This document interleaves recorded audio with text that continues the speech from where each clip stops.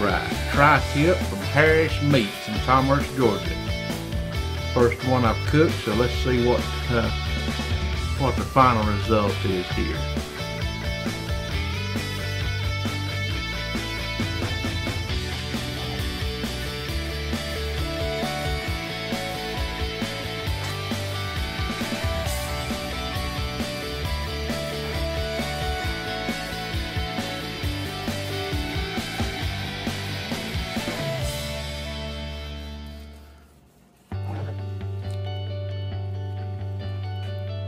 Looks good and juicy as always.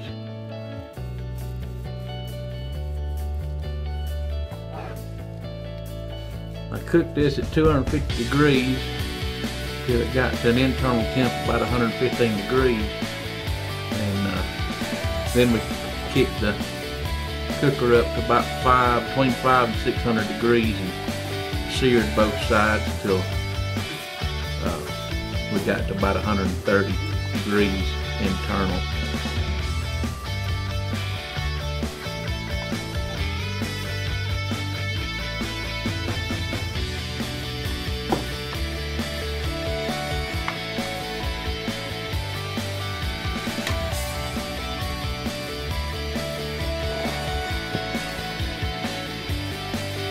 I think it's eatable.